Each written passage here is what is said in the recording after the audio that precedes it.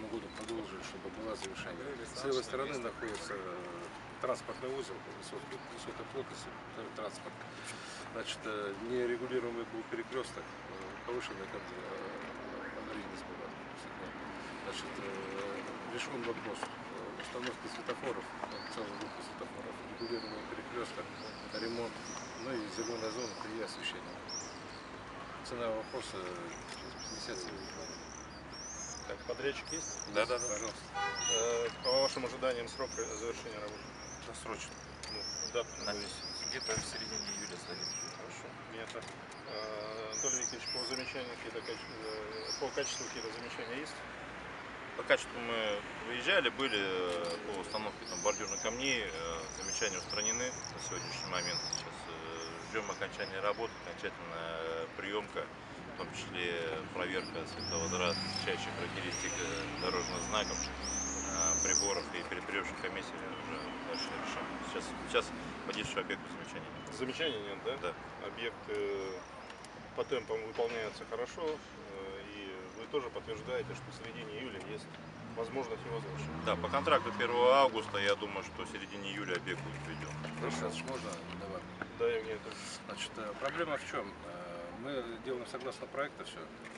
Заранее предусмотрено, вот, э, камера мешает, за ней. Вот эта въездная зона, она раньше была трехметровая, по дороге в школу. Мы сразу понимаем, что нужно делать въездную зону более широкую, мы запланировали. Но дальше, дальше уже, так сказать, мы не попадаем в зону проекта. А, Проблема в чем? Вот он пешеходный переход, которого здесь никогда не было. По проекту самое оптимальное, то, что нас пропустили контролирующие структуры, пропустили только именно вот эту зону. При наличии пешеходного перехода парковочное пространство у магазинов исчезает по закону.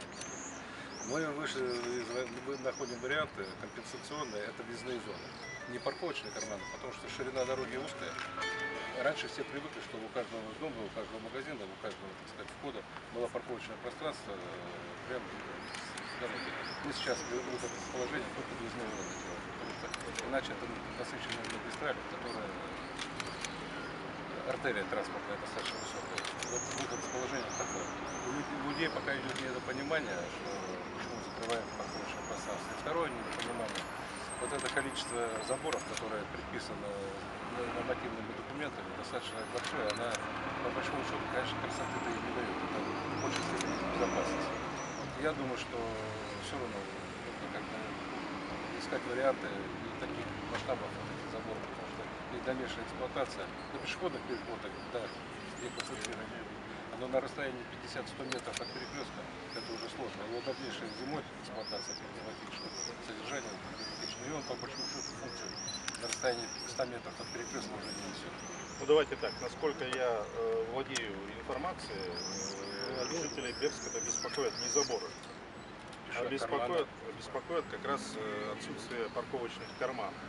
Э, Здесь э, я обратил внимание на две задачи. Первое, ну, конечно, обсуждение информирования, потому что проект, проект большой, важный, нужно жителям разъяснять, где вопросы безопасности первоочередные, а где есть возможность какие-то компромиссные решения.